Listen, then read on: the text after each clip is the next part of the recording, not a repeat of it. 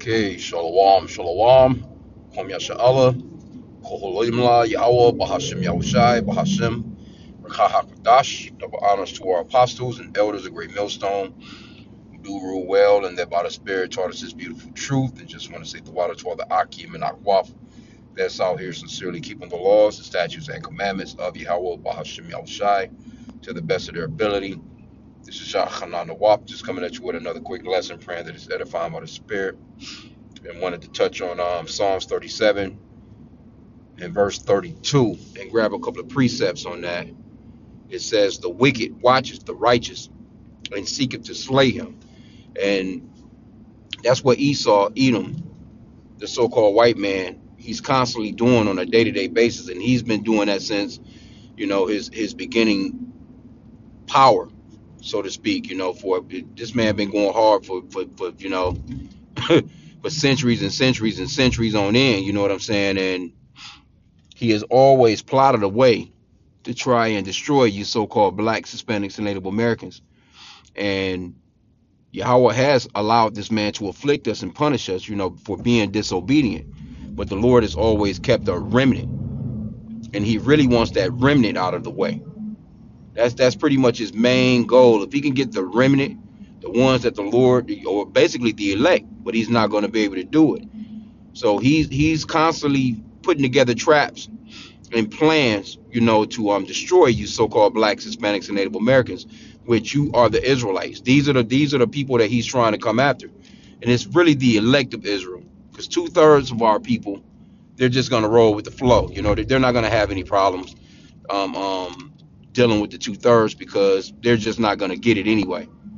This truth is just not for them right off. They're not going to, um, you know, uh, be a part of that first resurrection, so to speak, you know. And it's just designed for them to be destroyed because they are, you know, our people just hard headed, stiff necked, sottish people. And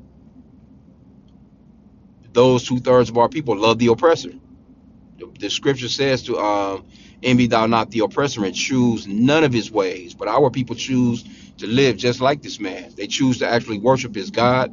They choose to actually, you know, um, celebrate his wicked ass holidays, idolatrous holidays. They choose to eat the, the what he calls delicacies. They choose to, you know, move about the earth. You know, our women, you know, they, they move about the earth. They gad abroad, you know, just they don't want to respect the order of the household. So our people are just through in that area. So and those are um actually traps that the so-called white man has set against us. It says the wicked watches the righteous and seeketh to slay him. And a crafty way of slaying a person, you know, slowly, pretty much overall, is to um, deal with their household. If you get rid of the man out of the household, then it's nothing to, you know, slay him and slay, most definitely slay the family, you know, slay the woman and the children because he, you know, really in war, your enemy, he will basically kill off your sons anyway. Why do you think these, you know, these prison houses are, are so full with our, our, our young men? You know, that's a trap. That's crafty counsel. That's things that they put together. They do that shit systematically. And, and a lot of our people don't really know that. But it's some of our people that do. They just don't understand to the extent of why it's going on. They don't understand um, you know, this fight between Jacob and Esau. They don't understand this spiritual war that's going on.